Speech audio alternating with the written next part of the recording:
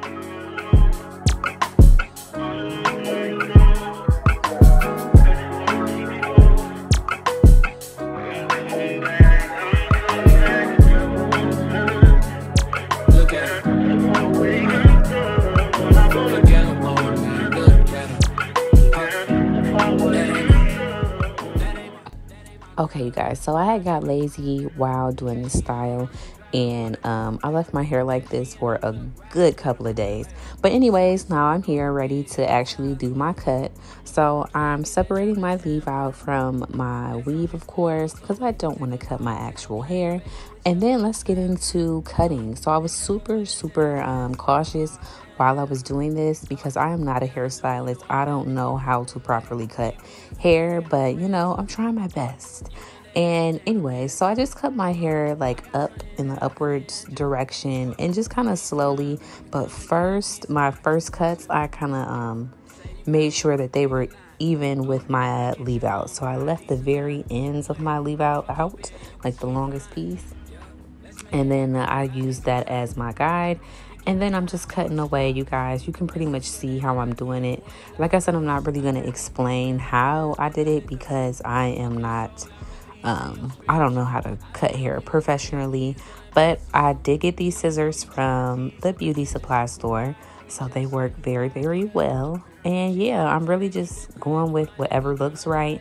And then honestly, every time I do a bob, I'm never too worried about the ends because I know I'm going to always curl my hair or like bump the ends. So I try to get it as straight across as possible. But I know I might look a little crazy, but curling my hair always saves it. You in dental school. Wife and now you folding clothes, cooking dinner too.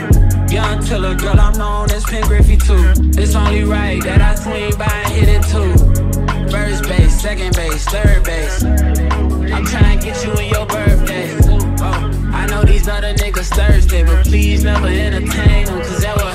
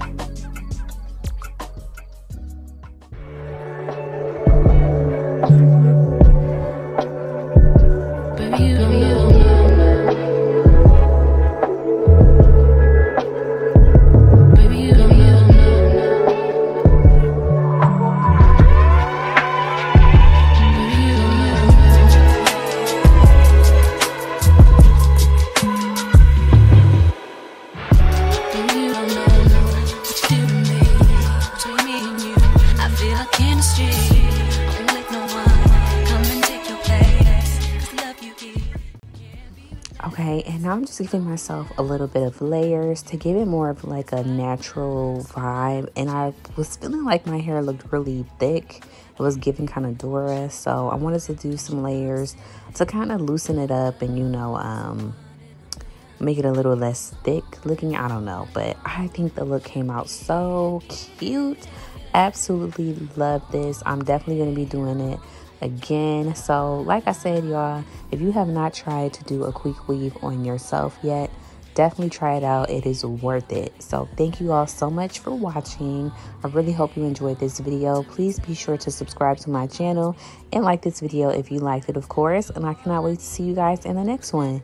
Everything you do makes me love everything about you. Your smile, your style, so fly. I can't deny. I got a crush on you, and that's true indeed. And I'm digging you. You make me believe that your love